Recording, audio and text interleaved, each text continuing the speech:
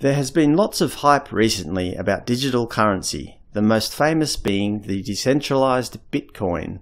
According to Google, Bitcoin is a type of digital currency in which encryption techniques are used to regulate the generation of units of currency and verify the transfer of funds, operating independently of a central bank. But let's not forget what it is at heart. It's just money. And with money comes problems. The power of Bitcoin. By power, I mean electrical power. Bitcoin uses a massive ledger called the blockchain to keep track of every Bitcoin transaction ever made. Without getting into too much detail, a lot of mathematics is involved, as well as a lot of guessing. You can read all the details for yourself with Dr. Karl Kruszelnicki's The Security of Bitcoins. This guessing requires a lot of computing power. It is said that the Bitcoin network uses at least several hundred times more power than the top 500 supercomputers combined. Dr. Karl states that the Bitcoin network uses as much electricity as it takes to run two large Hadron Colliders at full power. So what is the point of using all this power? Are we creating something worthwhile? The value of a fiction. Let's face it, Bitcoin is an artificially created fiction. Nothing is being produced except for a large 100 gigabyte blockchain database, which gets bigger by the day. It's hard to justify the amount of electrical power that is being used to produce and maintain the network. One must wonder what would happen if all this power was instead used to power some public transportation, hospitals, or schools. At least people can actually benefit from a hospital. So why are all these people investing in high-end computer systems to participate in mining, i.e. the process of adding transaction records to the blockchain? Of course, the answer is money. By mining, users are rewarded with new bitcoins. This is only economically feasible if their power expenditure is less than the value of the bitcoins being mined. Miners in China were recently busted for stealing electricity to power their high-end computer systems. Bitcoins maintain their value by being inherently scarce.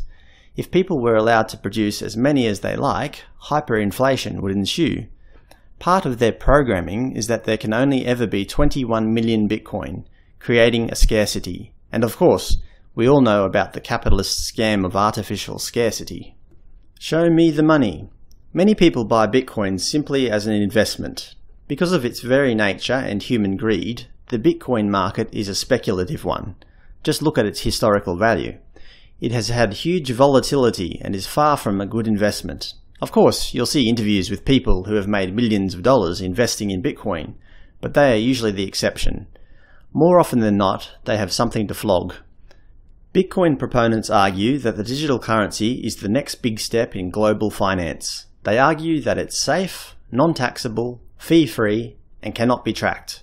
However, there is one big flaw. It's still money. And because it is money, it suffers from all the same drawbacks. As long as there is money, there will be people who have obscene amounts of it, and there will be people who have none.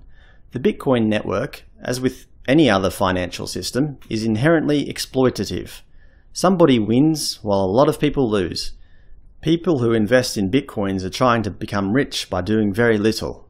The technology still allows greed in all its forms. As I noted in Stratification in Society, analogy of the antelope, the upper class often do very little to attain and preserve their wealth. Bitcoin is another way for a few individuals to become obscenely wealthy. They want to be able to sit back, enjoy their wealth, and participate in interviews praising them for their superior intellect and wise investment choice. As a society, we should be instead trying to do away with money. It only empowers the rich and allows exploitation of the poor. As I'm sure I have said before, we should be creating a network that allows the hungry to eat, the cold to be warm, and the sick to be treated without financial burden. With all of our modern technology, it is entirely possible. Bitcoin is not the answer to all the woes of the world. At best, it's a transitional technology towards a better, fairer system.